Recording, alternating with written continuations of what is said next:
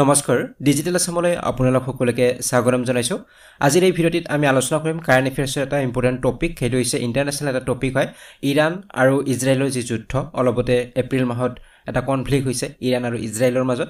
তো ইয়াৰ ওপৰত কুৱেশ্যন আহিব পাৰে আমাৰ আগন্তুক এক্সামসমূহত গতিকে আমি কিছু ইম্পৰ্টেণ্ট কুৱেশ্যন ডিছকাছ কৰিম ইৰাণ আৰু ইজৰাইল ৱাৰ সম্পৰ্কে আৰু ইয়াৰ কনচেপ্টখিনিও আমি কুৱেশ্যনৰ লগতে ডিছকাছ কৰাৰ বাবে চেষ্টা কৰিম।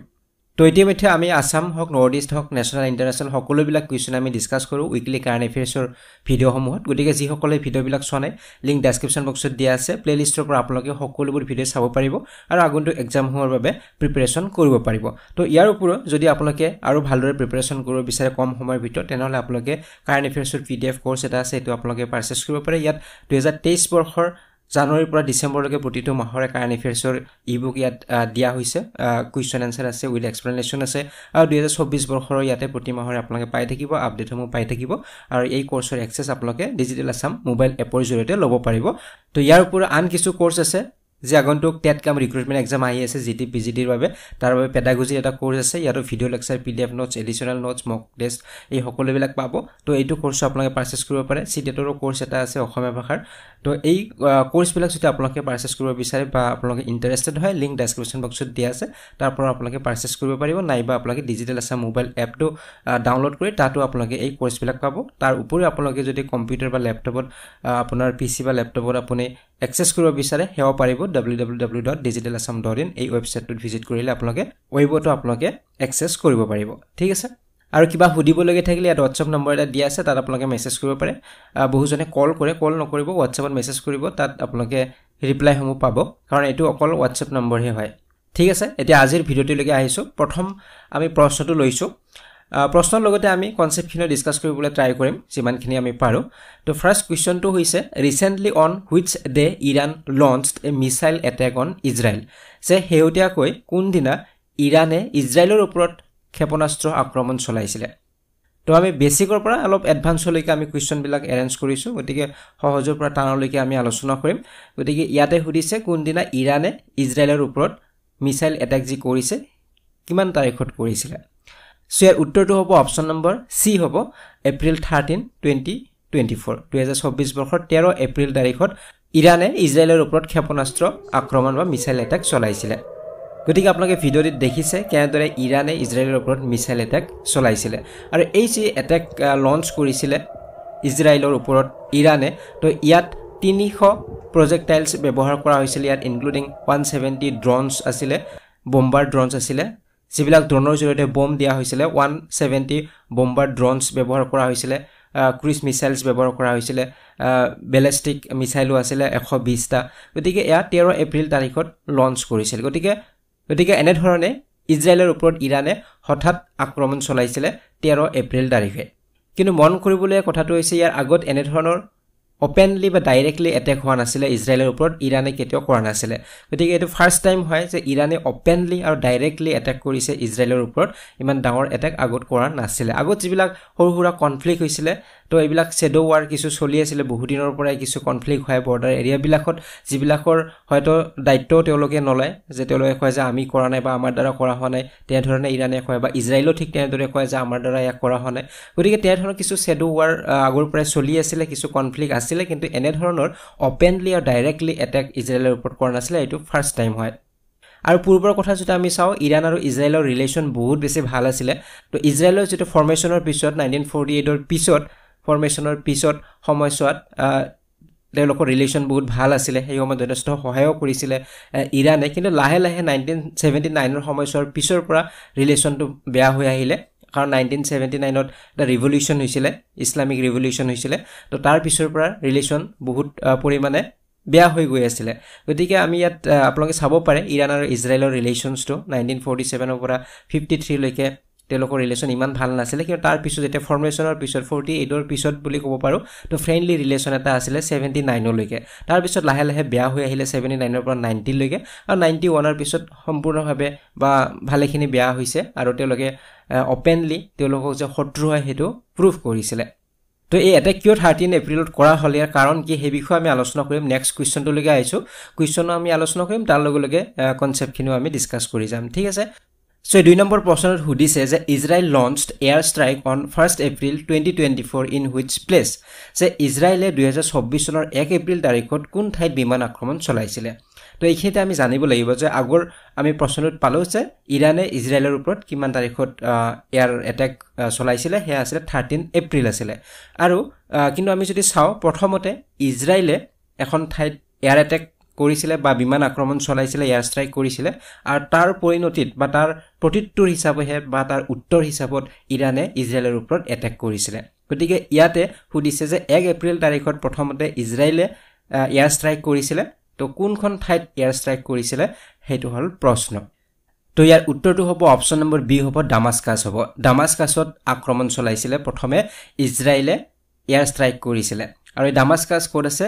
চিৰিয়াত আছে। চিৰিয়াৰ ৰাজধানী হয় ডামাছকাছ তো ইয়াৰ কানেকশ্যনটো এনেধৰণৰ যে চিৰিয়াৰ যিটো কনচুলেট আছে ইৰাণিয়ান কনচুলেট আছে চিৰিয়াত যেনেদৰে আমাৰ দেশত এম্বেচিবিলাক আছে বা বেলেগ দেশত আমাৰ ভাৰতৰ এম্বেচিবিলাক আছে পাকিস্তানত গ'লেও আমাৰ ইণ্ডিয়াৰ এম্বেচি আছে বা ইউ এছতো আমাৰ এম্বেচি আছে তো এনেদৰে যিবিলাক আমাৰ এম্বেচি থাকে ঠিক তেনেদৰে চিৰিয়াত ইৰাণৰ এম্বেচি আছিলে বা কনচুলেট বুলি কোৱা হৈছে কনচুলেট আছিলে চিৰিয়াত আৰু এই ইৰাণিয়ান কনচুলেটত এটেক কৰিছিলে ইজৰাইলে এটেক কৰিছিলে এক এপ্ৰিল তাৰিখত।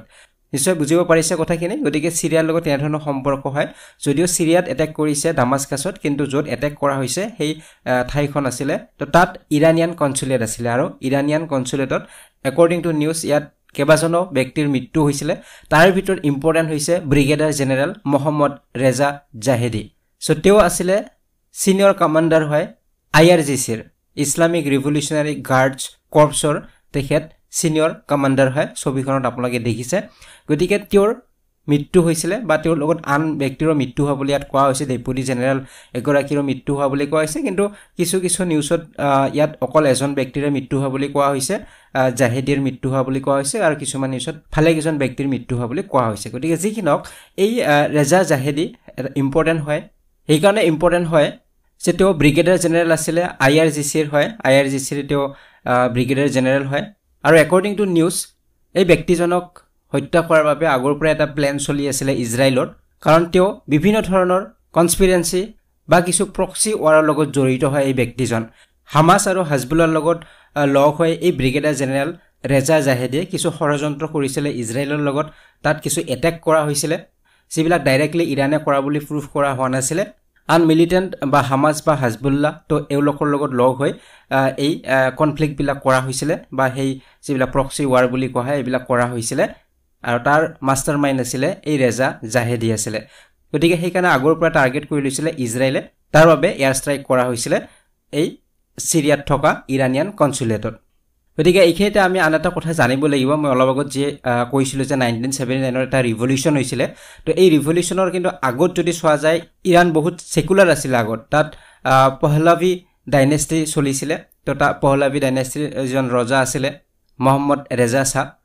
গতিকে সেই সময়ত যথেষ্ট ছেকুলাৰ আছিলে বহুত মডাৰ্ণ আছিলে। বৰ্তমান সময়তকৈ বহুত মডাৰ্ণ আছিলে। তাত হিজাবৰ কোনো কথা নাছিলে সেই সময়ছোৱাত।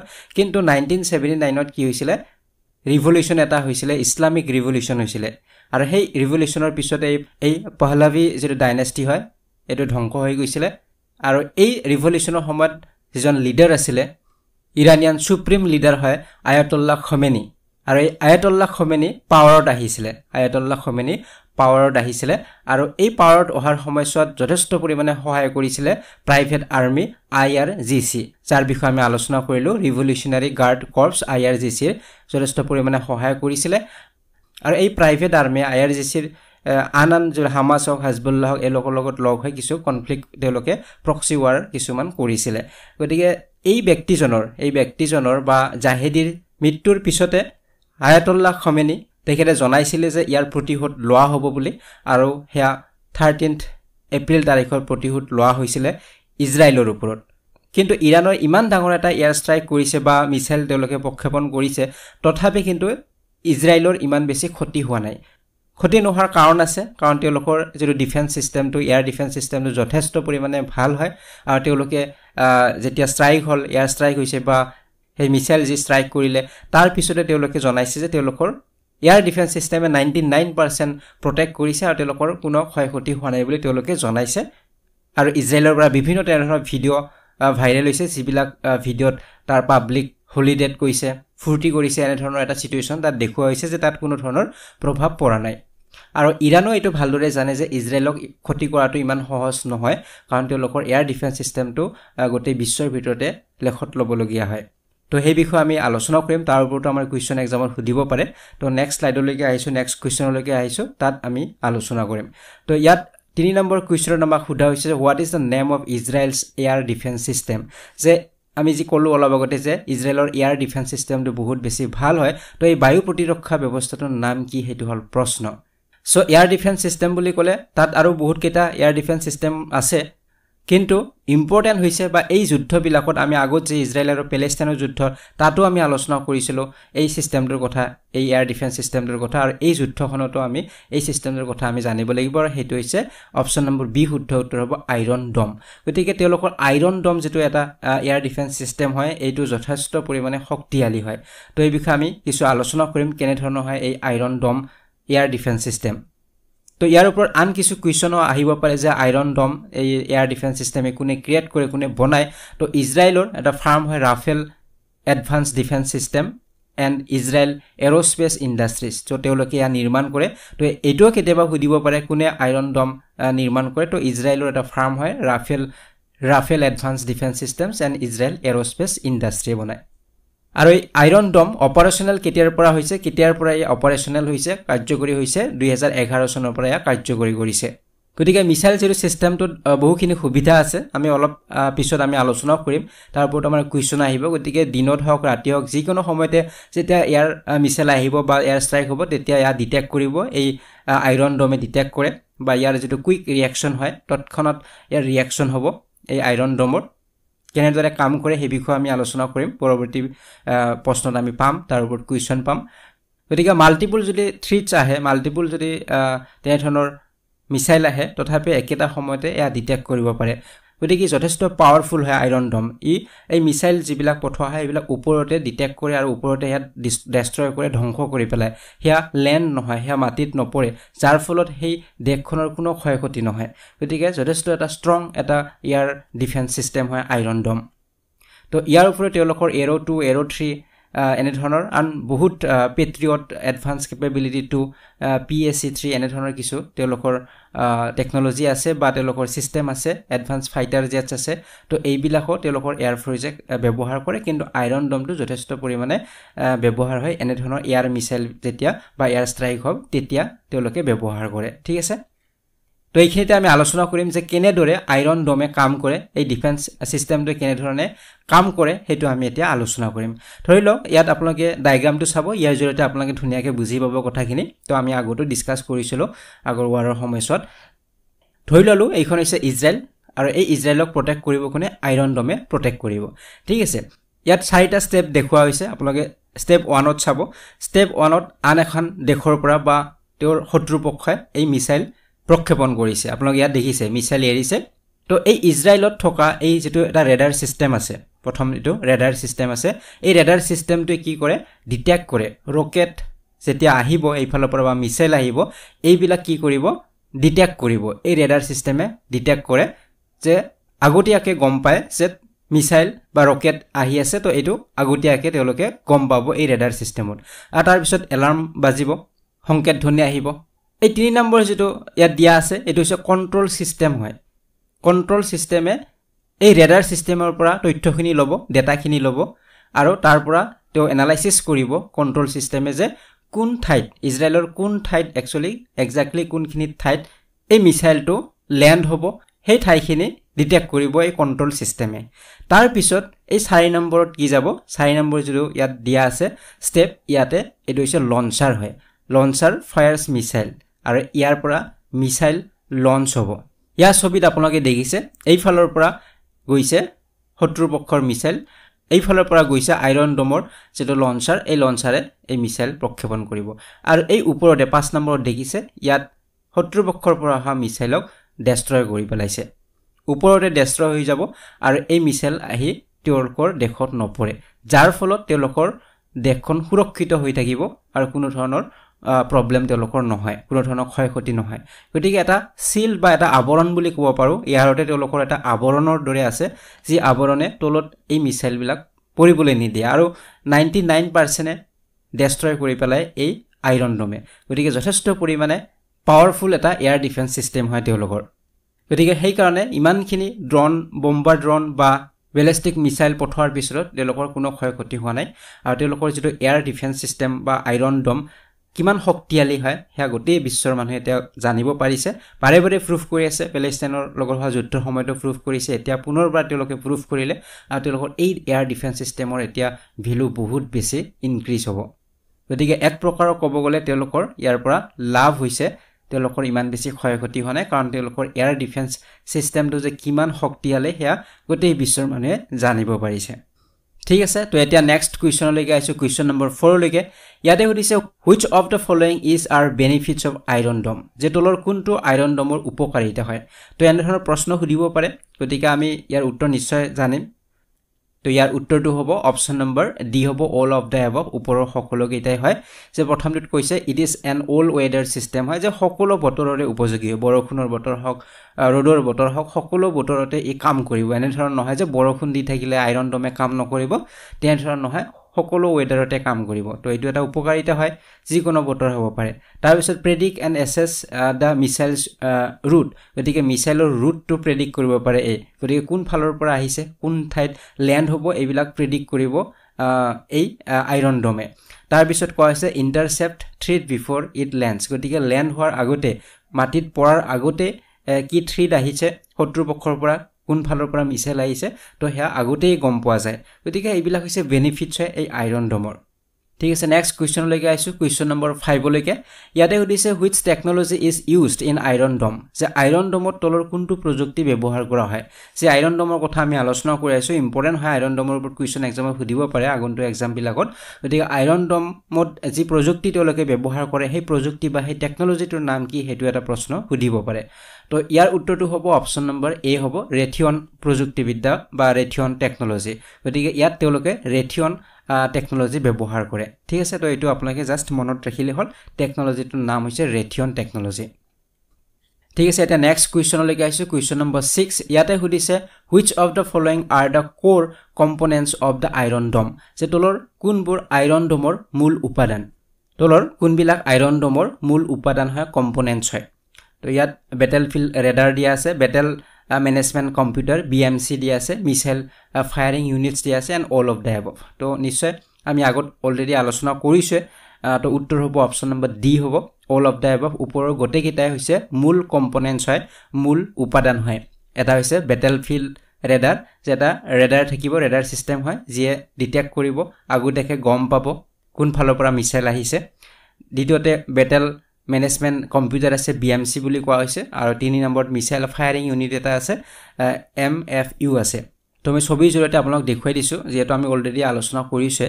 তো এইটো হৈছে ৰেডাৰ ছিষ্টেমটো যিটোৱে ডিটেক্ট কৰিব শত্ৰুপক্ষৰ পৰা যেতিয়াই আহিব মিছাইল তেতিয়া ডিটেক্ট কৰিব। এইটো প্ৰথম এটা কম্পনেণ্ট বুলি ক'ব পাৰোঁ ইম্পৰ্টেণ্ট এটা ইউনিট হয়। দ্বিতীয় ইউনিটটো হৈছে কণ্ট্ৰল ছিষ্টেম যিটো বি এম চি বুলি কোৱা হয়। আমি ইয়াত পাইছোঁ B M C battle management computer বুলি ইয়াক কোৱা হয়। ঠিক আছে ইয়াক বি এম চি বুলি কোৱা হয়। আৰু চাৰি নম্বৰত আমি পাইছোঁ মিছাইল ফায়াৰিং ইউনিট হয়। তো এইটো মিছাইল ফায়াৰ কৰে। এই ইউনিটটোৱে মিছাইল ফায়াৰ কৰে। ওপৰতে শত্ৰুপক্ষৰ পৰা অহা মিছাইল ডেষ্ট্ৰয় কৰি পেলাই তো এই তিনিটা যি ইউনিট আছে এইকেইটা হৈছে মূল উপাদান হয়। ক'ৰ কম্পনেণ্টছ হয়। তো এইখিনি আপোনালোকে মনত ৰাখিব। নেক্সট কুৱেশ্যনলৈকে আহিছোঁ question number seven which country supported Israel in the development of Iron Dome যে আইৰণ ডমৰ বিকাশত ইজৰাইলক কোনখন দেশে সহায় কৰিছিল? যে এই আইৰণ ডম যে ডেভেলপ কৰিব তেওঁলোকে এই ডেভেলপমেণ্টৰ ক্ষেত্ৰত যথেষ্ট টকা পইচাৰ প্ৰয়োজন হৈছিলে। গতিকে এই ক্ষেত্ৰত কোনে সহায় কৰিছিলে সেইটো হ'ল প্ৰশ্ন। গতিকে উত্তৰ হ'ব অপশ্যন নম্বৰ চি হ'ব ইউ এছ এ গতিকে ইউ এছ এ বা আমেৰিকাই সহায় কৰিছিলে। আৰু আমেৰিকাৰ লগত যথেষ্ট এটা ভাল সম্পৰ্ক আছে। ইজৰাইলৰ সেয়া আমি সকলোৱে জানো। আমাৰ ভাৰতবৰ্ষৰো ভাল সম্পৰ্ক আছে। গতিকে আইৰণ ডমৰ বিকাশৰ ক্ষেত্ৰত ইউ এছ এ যথেষ্ট পৰিমাণে সহায় কৰিছিলে। নেক্সট কুৱেশ্যনলৈকে আহিছোঁ কুৱেশ্যন নম্বৰ এইট ইয়াতে সুধিছে what is the importance of Israel for India যে ভাৰতৰ বাবে ইজৰাইলৰ গুৰুত্ব কি? ভাৰতৰ বাবে ইজৰাইলৰ গুৰুত্ব কি? যে কিয় গুৰুত্ব দিব লাগে ইজৰাইলক যে ভাৰতৰ কি গুৰুত্ব থাকিব পাৰে ইজৰাইলৰ ওপৰত? আমি কৈছোঁ যে ইজৰাইলৰ লগত ভাল এটা সম্পৰ্ক আছে ভাৰতৰ বা আমি এনেধৰণে ভাবিব পাৰোঁ যে আমাৰ ভাৰতবৰ্ষতনো ইয়াত কি প্ৰভাৱ পৰিব পাৰে? ইজৰাইলৰ যুদ্ধ হৈছে ইৰাণত যুদ্ধ হৈছে আমাৰ ইয়াত চিন্তা কৰিবলৈ কি আছে? কিন্তু আমাৰ ইয়াতো প্ৰভাৱ পৰিব কাৰণ আমাৰ লিংক আছে। কেনেধৰণৰ লিংক আছে সেইটোৱে ইয়াত সুধিছে কি গুৰুত্ব ভাৰতৰ ইজৰাইলৰ ওপৰত। চ' ইয়াত অপশ্যনত আছে economic and commerce defence energy all of the above তো উত্তৰ হ'ব ইয়াত অপশ্যন নম্বৰ ডি হ'ব অল অফ দ্য এবভ গতিকে গোটেইবিলাক ক্ষেত্ৰতে গুৰুত্ব আছে ইণ্ডিয়াৰ। ইণ্ডিয়াই চিন্তা কৰিব লাগিব এইবিলাক ক্ষেত্ৰৰ কাৰণে। ইজৰাইলৰ বিষয়ে আমি চিন্তা কৰিব লাগিব। কিয়? কাৰণ আমি ইজৰাইলৰ লগত আমাৰ বিভিন্ন ধৰণৰ ট্ৰেড কৰা হয় বাণিজ্য কৰা হৈছে আমি তেওঁলোকৰ পৰা বিভিন্ন বস্তু ইম্পৰ্ট কৰোঁ। তো সেইকাৰণে আমাৰ তাৰ লগত এটা কি আছে কানেকশ্যন আছে ইজৰাইলৰ লগত এটা কি আছে কানেকশ্যন আছে। গতিকে কি কি কানেকশ্যন আছে? এই গোটেইকেইটাৰ ক্ষেত্ৰতে কানেকশ্যন আছে ইকনমিক এণ্ড কমাৰ্চ ডিফেন্স আৰু এনাৰ্জি শক্তি সকলো ক্ষেত্ৰতে। আমি আলোচনা কৰিম যে ইকনমিক এণ্ড কমাৰ্চৰ ক্ষেত্ৰত আছে ইণ্ডিয়াৰ লগত এটা সম্পৰ্ক আছে ট্ৰেড বেলেঞ্চ এটা আছে ইজৰাইলৰ লগত। গতিকে India is Israel's third largest trade partner in Asia গতিকে এছিয়াৰ ভিতৰত third largest largest trade partner হৈছে ইণ্ডিয়া ইজৰাইলৰ। গতিকে যথেষ্ট পৰিমাণত ট্ৰেড হয় বা কিছু ইয়াত চুক্তি আছে ইজৰাইল আৰু ইণ্ডিয়াৰ মাজত। ডিফেন্সৰ ক্ষেত্ৰতো আমাৰ আছে ডিফেন্সৰ বিভিন্ন আমাৰ টেকন'লজি যিবিলাক আমি ইজৰাইলৰ পৰা আনিছোঁ। আমি এয়া সকলোৱে জানোৱে ইণ্ডিয়াই ইম্পৰ্ট কৰে ক্ৰিটিকেল ডিফেন্স টেকন'লজিবিলাক ইজৰাইলৰ পৰা আমাৰ অনা হৈছে। আমাৰ ইণ্ডিয়াৰ ডিফেন্স ছিষ্টেমটোক ষ্ট্ৰং কৰাৰ বাবে ইজৰাইলৰ ডিফেন্স টেকন'লজি কিছুমান আমি আনিছোঁ বা আমাৰ চৰকাৰে আনিছে। গতিকে নিয়াৰলি ফৰ্টি ওৱান পাৰ্চেণ্ট ইজৰাইলৰ ডিফেন্স যি এক্সপৰ্ট হয় ইণ্ডিয়াত এক্সপৰ্ট হয়। আৰু অকল ইণ্ডিয়া বুলি নহয় বেলেগ বেলেগ দেশত এক্সপৰ্ট কৰে কাৰণ তেওঁলোকৰ ডিফেন্স ছিষ্টেমটো যথেষ্ট শক্তিশালী হয় তাৰটো আমি প্ৰমাণ পাইছোৱে গতিকে সেই ক্ষেত্ৰত আমাৰ এটা ভাল এটা সম্পৰ্ক আছে। তৃতীয়তে এনাৰ্জি ইণ্ডিয়াই ইম্পৰ্ট কৰিব নেচাৰেল গেছ আমি আনো ইজৰাইলৰ পৰা। বা আমাৰ ক্ৰুড অইল আমাৰ ইজৰাইলৰ পৰা আহে। তো এইবিলাক ক্ষেত্ৰত আমাৰ এনাৰ্জিও আমি তাৰ পৰাই পাই আছোঁ বা তেওঁলোকৰ পৰা আমি ইম্পৰ্ট কৰোঁ। গতিকে সেইটো এটা কানেকশ্যন আছে। ছায়েন্স এণ্ড টেকন'লজিৰ ক্ষেত্ৰতো কানেকশ্যন আছে। তেনেদৰে স্পেচৰ ক্ষেত্ৰতো আমাৰ কানেকশ্যন আছে। গতিকে এনেধৰণৰ বিভিন্ন এগ্ৰিমেণ্ট আছে ইজৰাইলৰ লগত। গতিকে তাৰ লগত আমাৰ ভাল এটা সম্পৰ্ক আছে আৰু ইৰাণৰ লগতো আমাৰ সম্পৰ্ক আছে ভাল। ইৰাণৰ লগতো যে বেয়া সম্পৰ্ক তেনেধৰণৰ নহয়। ইৰাণো ছিগনিফিকেণ্ট ছাপ্লায়াৰ আছিলে ক্ৰুড অইলৰ ইণ্ডিয়াত। ইৰাণৰ পৰা ক্ৰুড অইলবিলাক আহিছিলে। কিন্তু বৰ্তমান সময়ছোৱাত কিছু প্ৰব্লেম চলি আছে এই ক্ষেত্ৰত। ঠিক আছে তো নেক্সট কুৱেশ্যনলৈকে আহিছোঁ কুৱেশ্যন নম্বৰ নাইনলৈকে ইয়াতে সুধিছে what is India stake in Iran Israel conflict যে ইৰাণ ইজৰাইলৰ সংঘাতত ভাৰতৰ অংশীদাৰিত্ব কি হ'ব? যে ভাৰতৰ কেনেধৰণৰ পদক্ষেপ হ'ব বা ভাৰতে কি অংশীদাৰিত্ব লৈছে ইৰাণ ইজৰাইলৰ কনফ্লিক্টৰ সময়ছোৱাত? তো এনেধৰণৰ প্ৰশ্ন আমাক সুধিব পাৰে। তো অলৰেডি আমাৰ ভাৰত চৰকাৰে ইয়াৰ ওপৰত পদক্ষেপ বা ভাৰতৰ কি মতামত হ'ব ভাৰত চৰকাৰৰ সেয়া অলৰেডি দিয়া হৈছে। তো ইয়াৰ উত্তৰটো হ'ব অপশ্যন নম্বৰ এ হ'ব ষ্ট্ৰেটেজিক বেলেঞ্চ হ'ব যে আমাৰ কৌশলগত ভাৰসাম্য। যে আমি নিউট্ৰেলত থাকিব লাগিব আমি কাৰো পক্ষ ল'ব নোৱাৰোঁ। ভাৰতবৰ্ষে কাৰো পক্ষ লোৱা নাই নে ইজৰাইলৰ পক্ষত আছে নে ইৰাণৰ পক্ষত আছে নিউট্ৰেল ছিটুৱেশ্যন এটাত আছে বেলেঞ্চত আছে ষ্ট্ৰেটেজিক বেলেঞ্চ এটা লোৱা হৈছে। আৰু আমাৰ ভাৰত চৰকাৰৰ ফালৰ পৰা এয়া কোৱা হৈছে যে ইমিডিয়েট ডি এছকেলেশ্যন যে ইমিডিয়েটলি এয়া বন্ধ কৰিব লাগে এই যি ৱাৰ এই ৱাৰ বন্ধ কৰিব লাগে ষ্টেপিং বেক ফ্ৰম ভায়লেঞ্চ ভায়লেঞ্চৰ পৰা পিছুৱাই আহিব লাগিব। ভায়লেঞ্চ আমি নিবিচাৰোঁ। ইণ্ডিয়া ষ্ট্ৰংলি কৈছে যে আমাক ভায়লেঞ্চ নালাগে। ইণ্ডিয়াই ভায়লেঞ্চক ছাপৰ্ট কৰা নাই। গতিকে ইজৰাইল হওক ইৰাণ হওক কাকো ছাপৰ্ট কৰা নাই। ইণ্ডিয়াই নিউট্ৰেল এটা পদক্ষেপ লৈছে। Return to the path of diplomacy গতিকে তেওঁ যদি আমাৰ ইণ্ডিয়াই কমেণ্ট কৰিছে। ঠিক আছে তো এইটো এটা ইম্পৰ্টেণ্ট হয় যে ইণ্ডিয়াৰ পদক্ষেপ এই ক্ষেত্ৰত কি হ'ব? এই যুদ্ধৰ ক্ষেত্ৰত তো ইণ্ডিয়াই ক্লিয়াৰলি কৈছে যে immediate de escalation stepping back from violence বুলি তেওঁলোকে ষ্ট্ৰংলি কৈছে ক্লিয়াৰলি কৈছে ঠিক আছে? গতিকে ইণ্ডিয়াই অকল ইৰাণ ইজৰাইল বুলি নহয় ইজিপ্ত হওক Iran Israel Qatar Turkey Saudi Arabia United Arab Emirates সকলোৰে লগত ভাল এটা সম্পৰ্ক ৰক্ষা কৰাটো যথেষ্ট পৰিমাণে প্ৰয়োজন হয় কাৰণ সকলোৰে লগত আমাৰ কিবা নহয় কিবা সম্পৰ্ক এটা আছে বা ইকনমিক ক্ষেত্ৰতে হওক বা ট্ৰেডৰ ক্ষেত্ৰতে হওক আমাৰ কিবা নহয় কিবা এটা সম্পৰ্ক আছে। গতিকে আমি আমি কাৰোবাৰ পক্ষ লোৱা মানে কাৰোবাৰ অপজিশ্যনত যোৱা মানে আমাৰে ক্ষতি হ'ব দেশৰ আমাৰ ডেভেলপমেণ্টৰ ক্ষতি হ'ব। তো সেইকাৰণে এইবিলাক ক্ষেত্ৰত ইণ্ডিয়া নিউট্ৰেল হৈ থকাটো যথেষ্ট পৰিমাণে প্ৰয়োজন হয়। তো এতিয়া আহিছোঁ নেক্সট কুৱেশ্যন কুৱেশ্যন নম্বৰ টেনলৈকে ইয়াতে সুধিছে Iran name the attack on Israel as যে ইৰাণে ইজৰাইলৰ ওপৰত যিটো আক্ৰমণ কৰিলে যোৱা তেৰ এপ্ৰিল তাৰিখত তো ইয়াক কি বুলি নামাকৰণ কৰিছে? ইৰাণে ইয়াক নাম দিছে এটা। এই অপাৰেশ্যনটোক এটা নাম দিছে। কি অপাৰেশ্যন বুলি কৈছে? সেইটো এটা ইম্পৰ্টেণ্ট প্ৰশ্ন আহিব পাৰে। তো উত্তৰ হ'ব অপশ্যন নম্বৰ বি হ'ব অপাৰেশ্যন ট্ৰু প্ৰমিছ বুলি কৈছে। অপাৰেশ্যন ট্ৰু প্ৰমিছ বুলি কৈছে। এই এটেকটোক তেৰ এপ্ৰিল তাৰিখে সংঘটিত হোৱা এটেকটোক ঠিক আছে? এইটো ইম্পৰ্টেণ্ট প্ৰশ্ন হ'ব পাৰে মনত ৰাখিব। নেক্সট কুৱেশ্যনলৈকে আহিছোঁ। এইটো হৈছে এঘাৰ নম্বৰ কুৱেশ্যন ইয়াতে সুধিছে what will be the immediate impact Iran Israel conflict on the world যে ইৰাণ ইজৰাইলৰ সংঘাতৰ তাৎক্ষণিক প্ৰভাৱ বিশ্বত কি হ'ব পাৰে? তাৎক্ষণিকভাৱে ইমিডিয়েট যে কিবা ইম্পেক্ট যদি পৰিব পাৰে আমাৰ গোটেই বিশ্বত এই যুদ্ধৰ ফলত ইৰাণ আৰু ইজৰাইলৰ কনফ্লিক্টৰ ফলত কি হ'ব পাৰে সেইটো হ'ল প্ৰশ্ন। তো এনেধৰণৰ প্ৰশ্ন এক্সামত সোধে তো উত্তৰ হ'ব ইয়াৰে অপশ্যন নম্বৰ চি হ'ব হাই ৱেল প্ৰাইচেছ যিহেতু আমি কৈছোঁ যে ইণ্ডিয়াও আমাৰ কি কৰে ইম্পৰ্ট কৰে তেনেদৰে বেলেগ বেলেগ দেশবিলাকো ইম্পৰ্ট কৰে ইজৰাইলৰ পৰা ক্ৰুড অইলবিলাক গতিকে এই তেলৰ দাম বঢ়াৰ যথেষ্ট চান্সেছ আছে ইমিডিয়েট ইম্পেক্ট পৰিব পাৰে যদি তাত যুদ্ধ হয়। বা আৰু ভয়াৱহ চিটুৱেশ্যন হয় তেনেহ'লে ইম্পেক্ট পৰিব পাৰে হাই ৱেল প্ৰাইচেছ হ'ব পাৰে। তো ইমিডিয়েট ইম্পেক্ট সেইটো হ'ব পাৰে। বেলেগ বেলেগ আৰু পৰৱৰ্তী সময়ত ইম্পেক্ট হ'ব পাৰে কিন্তু ইমিডিয়েটলি হ'ব হ'ব গ'লে এইটো হ'ব পাৰে। ঠিক আছে? তো এইখিনি ইম্পৰ্টেণ্ট কুৱেশ্যন আমি আলোচনা কৰিলোঁ। নিশ্চয় আপোনালোকৰ কিছু আইডিয়া হৈছে এই ইৰাণ ইজৰাইলৰ ৱাৰ সম্পৰ্কে। তো এই কুৱেশ্যনছখিনি আপোনালোকে মনত ৰাখিব। তাৰ উপৰি আন কেইটামান কথা আপোনালোকে পইণ্টছ আপোনালোকে মনত ৰাখিব যে ইজৰাইলৰ বিষয়ে অলপমান আপোনালোকে জানি ল'ব। যেনে ইজৰাইল কেতিয়া এষ্টাব্লিছ হৈছিলে? নাইনটিন ফৰ্টি এইট ফৰ্টিন মে'ত এষ্টাব্লিছ হৈছিলে। তো এই এষ্টাব্লিছৰ পিছৰ পৰাই ভাল এটা সম্পৰ্ক আছিলে কিন্তু ইৰাণৰ লগত। আমি অলৰেডি আলোচনা কৰিছোঁ। চ' ইজৰাইলৰ কেপিটেল কি সুধিব পাৰে? জেৰুচালেম হৈছে ইয়াৰ কেপিটেল হয় মনত ৰাখিব। অফিচিয়েল লেংগুৱেজ হেভ্ৰিও হয়। প্ৰেচিডেণ্ট হৈছে এইজাক হাৰ্জক প্ৰাইম মিনিষ্টাৰ হৈছে বেঞ্জামিন নেটানাইহু আৰু কাৰেঞ্চি হৈছে নিউ চেকেল নিউ চেকেল হৈছে কাৰেঞ্চি ইজৰাইলৰ। ঠিক তেনেদৰে ইৰাণৰ কেপিটেল তেহৰাণ হয় অফিচিয়েল লেংগুৱেজ পাৰ্চিয়ান হয় প্ৰেচিডেণ্ট হৈছে ইব্ৰাহিম ৰাইচি কাৰেঞ্চি হৈছে ইৰাণিয়ান ৰিয়েল। তো এইবিলাক ইম্পৰ্টেণ্ট পইণ্টছ মনত ৰাখিব। এইবিলাকৰ ওপৰতো কুৱেশ্যন আহিব পাৰে যিহেতু ইৰাণ ইজৰাইলৰ মাজত কনফ্লিক্ট হৈছে বা নিউজত আহি আছে। তো ইয়াৰ ওপৰত কুৱেশ্যন সুধিব পাৰে যিকে কুৱেশ্যন ইয়াৰ ওপৰত আহিব পাৰে। তো এইবিলাক পইণ্টছ আপোনালোকে মনত ৰাখিব। ঠিক আছে? তো আজিৰ এই ভিডিঅ'টিত আমি এইখিনি ইম্পৰ্টেণ্ট পইণ্টছ আমি ডিছকাছ কৰিলোঁ বা কুৱেশ্যন আমি ডিছকাছ কৰিলোঁ ইৰাণ আৰু ইজৰাইল ৱাৰ সম্পৰ্কে। তো প্ৰিভিয়াছ ভিডিঅ'বিলাক আপোনালোকে চাব কাৰেণ্ট এফেয়াৰ্ছৰ প্লে'লিষ্টৰ পৰা আপোনালোকে চাব পাৰিব। আৰু আপোনালোকে যদি যিকোনো কৰ্চৰ প্ৰতি ইণ্টাৰেষ্টেড হয় লিংকবিলাক ডেছক্ৰিপশ্যন বক্সত দিয়া আছে তাৰ পৰা আপোনালোকে পাৰ্চেছ কৰিব পাৰিব।